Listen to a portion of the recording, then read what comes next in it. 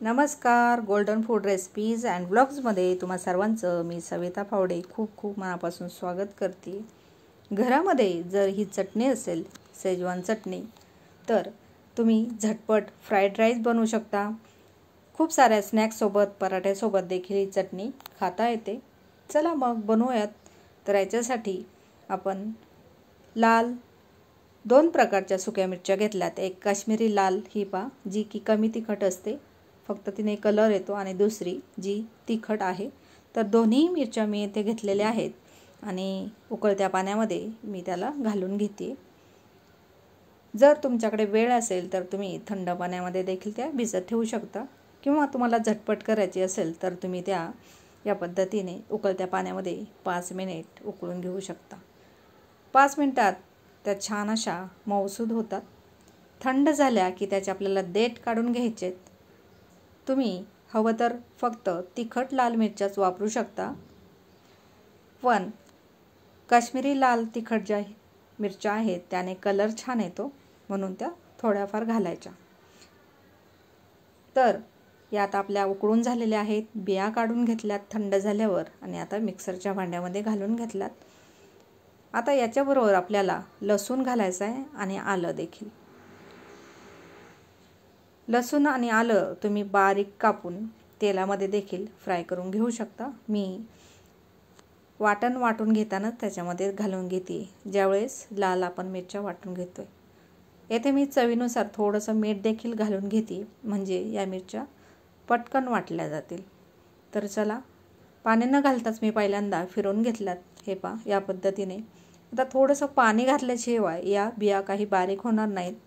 म्हणून थोडंसं पाणी घालायचं खूप जास्त नाही. फक्त फिरलं जाईल मिश्रण एवढंच बारीक आपल्याला करायचं आहे पाणी घालायचं आहे.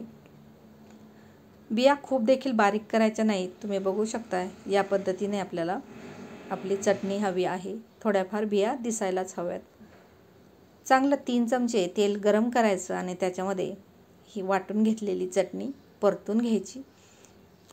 तुमच्याकडे वेळ असेल तर जो आपण आला आणि लसूण याच्याबरोबर वाटामध्ये वाटून घेतला त्याच्याऐवजी एकदम बारीक कापून तुम्ही तेलामध्ये परतून घेतला तरी देखील चालेल.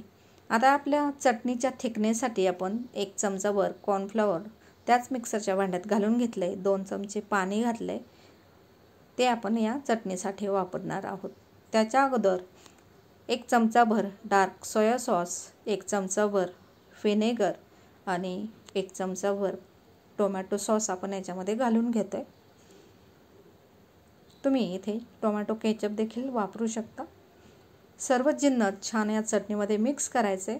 येथे आपला गॅस मंद आहे.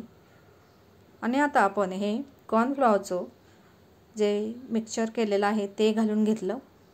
येथे आपण पुन्हा चवीनुसार थोडंसं मीठ घातलं आहे मीठ घालताना अंदाज घ्यायचा कारण मिरच्या वाटून घेताना देखील आपण मीठ घातलं होतं. आणि सॉसमध्ये देखील मीठ असतं. छान मिक्स करून घेतली. आता आपण याच्यामध्ये थोडीशी साखर देखील घालूयात. साखरेने जो काही आंबटपणा तिखटपणा असेल तो बॅलन्स होतो. थोडीशी साखर घालून घ्यायची. आणि मीठ देखील अंदाज घेत व्यवस्थित घालून घ्यायचं. आणि हे सर्व जिन्नस या चटणीमध्ये छान मिक्स करायचे. आता आपलं या चटणीला छान अशी शिजू द्यायची आहे. या चटणीमध्ये जे आपण पाणी घातलेलं आहे कॉर्नफ्लॉवरची पेस्ट घातली आहे मिरच्या वाटून घेताना जे पाणी घातलेलं आहे हे सर्व पाणी या चटणीमधून निघून गेलं पाहिजे. एवढी ही चटणी आपल्याला मंद आचेवरती शिजू द्यायची आहे. हे पा झाकण ठेवून आपण शिजून दिली दोन तीन मिनटाने मध्ये चेक करून पाहायची. चटणी कलथ्यावरून पटकन खाली पडते म्हणजे ती अजून तयार झालेली नाही. पुन्हा झाकण ठेवायचं मंद आचेवरती छान अशी शिजू द्यायची. फक्त मध्ये मध्ये चेक करायची नाही तर ती खाली लागू शकते तळाला. हे पा चटणीचा असा थिकनेस झाला की चटणी तयार झाली अशी समजायची. जोपर्यंत त्याच्यातलं पूर्ण पाणी निघून जात नाही तोपर्यंत आपल्याला ह्या चटणीला मस्त शिजू द्यायचं आहे हे पा चटणी. पटकन अशी खाली पडत नाही. म्हणजे त्याच्यातलं पूर्ण पाणी आटून गेलेलं आहे. ही चटणी. हवाबंद काचेच्या बनण्यामध्ये तुम्ही ठेवू शकता. महिनाभर ती छान टिकेल. अशा पद्धतीने आपली ही चटणी तयार झालेली आहे. व्हिडिओ आवडल्यास नक्कीच लाईक शेअर सबस्क्राईब करा. धन्यवाद.